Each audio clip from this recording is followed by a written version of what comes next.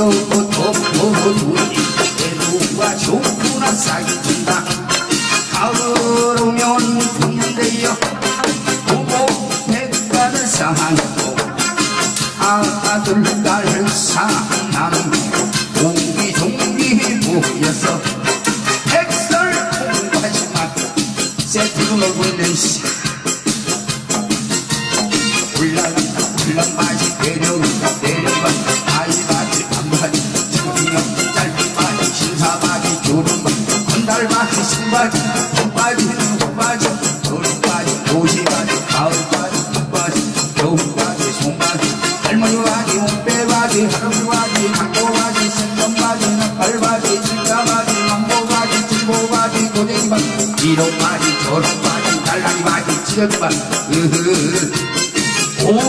저기 오신 여러분들 나 같은 사람 누구를라.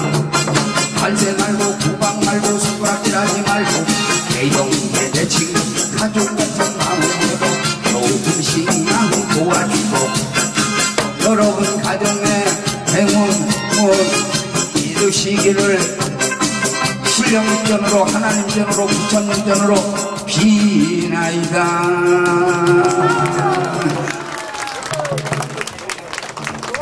Bye.